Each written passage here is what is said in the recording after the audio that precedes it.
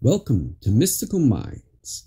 I am your host, Jamie Girard, and today I will be reading poetry and prose from Danny Martin Girard. Plan for it. Plan for success and prosperity. Plan for happiness and peace. Plan for love and compassion.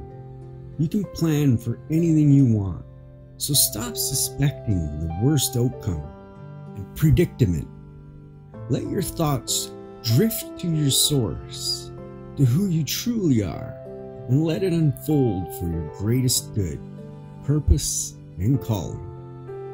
Thank you so much, Danny G. That was amazing. And now, I'd like to take a moment with you for gratitude.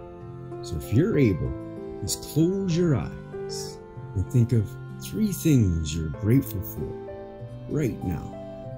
I am grateful for my wife.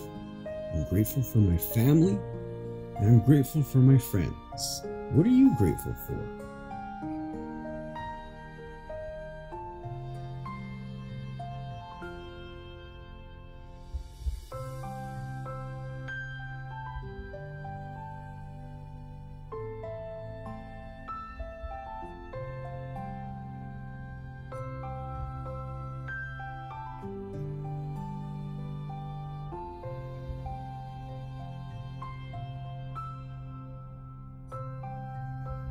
Now, take a deep breath in.